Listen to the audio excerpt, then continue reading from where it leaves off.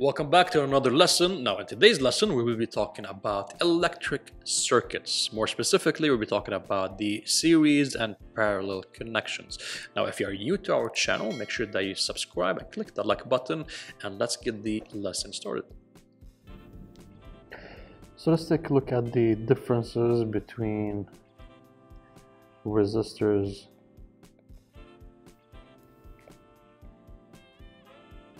connected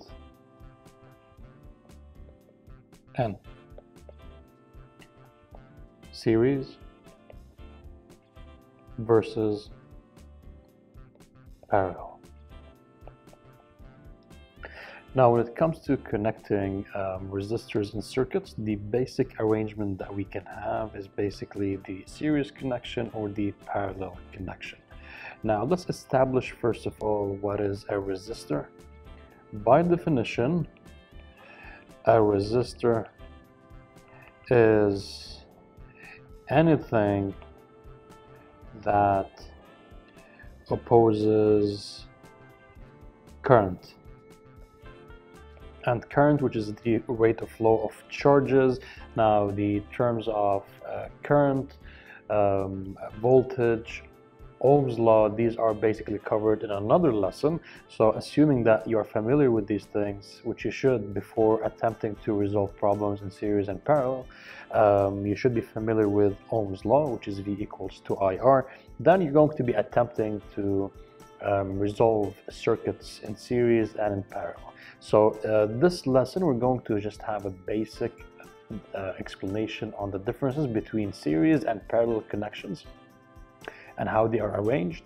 And if you are not familiar with Ohm's law, the voltage, the current, the resistance, you should be taking a look at the other lesson that we'll be sharing as well, targeting Ohm's law.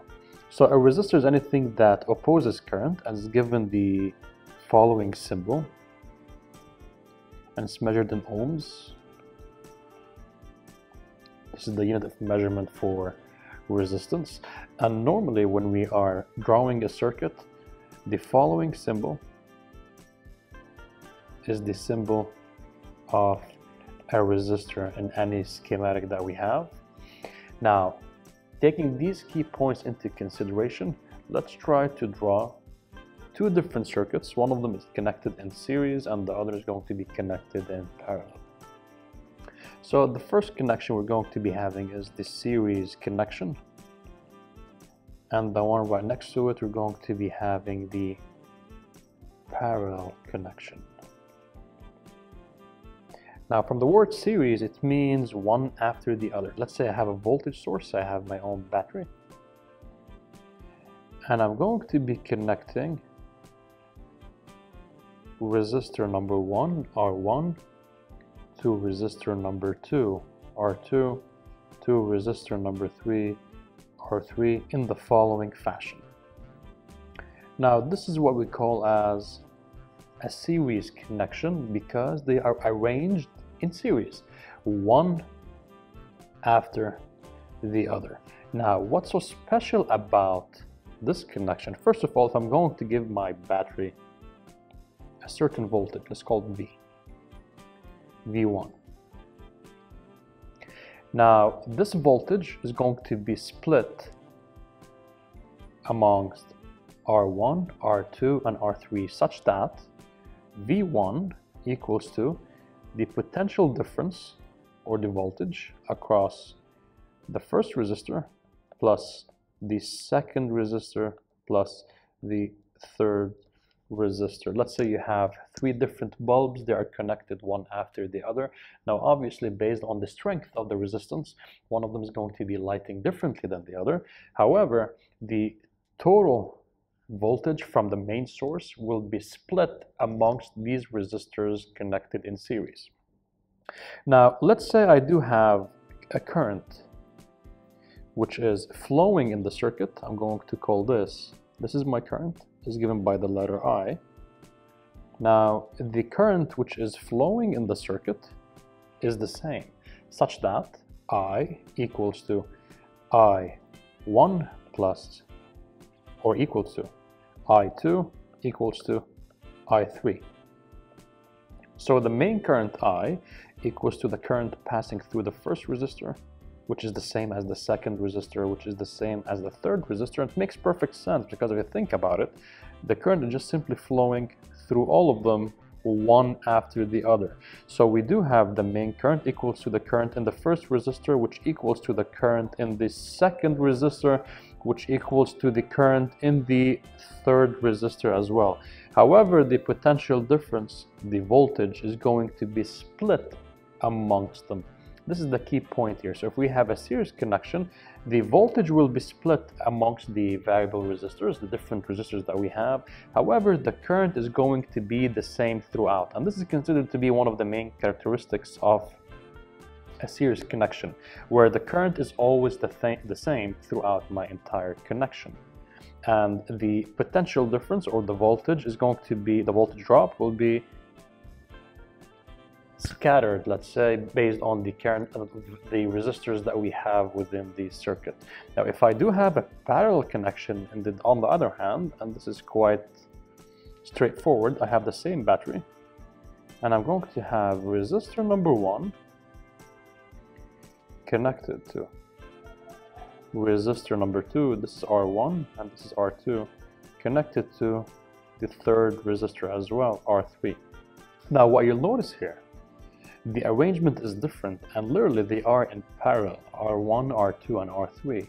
Now if I'm going to be using the same current as well, let's call it I. Now what you will notice here is the opposite of the series circuit where my current, it will go ahead and start splitting at these junctions. It will continue and split again at these junctions, then to be collected all the way back to be summed up as the main current again. So in other words, my main current, the total current, equals to the current passing through the first resistor plus the current passing through the second resistor plus the current passing through the third resistor. However, the voltage, the potential difference, V, is the same across the first resistor the same across the second resistor and the same across the third resistor. So V equals to the same voltage across VR1 equals to the same voltage across VR2 equals to the same voltage across VR3. So what do we notice here? The um, difference between series and parallel connection is that in series connection, your voltage is the one going to be splitting because your components are connected one after the other and they will be absorbing energy from the battery one after the other. However, your current is going to be the same because your current is passing through every single resistor one after the other consecutively. However, on the other hand, the parallel connection, you do have the current splitting amongst the very different resistors because the arrangement is in parallel. However, because they are in parallel connection, your voltage will be the same across these variable components. But if I want to calculate what we call as the equivalent resistance,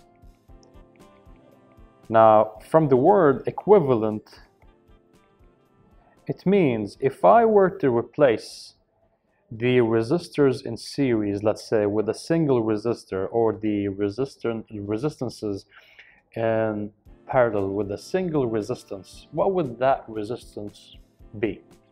So if I do have a series connection, and a parallel connection.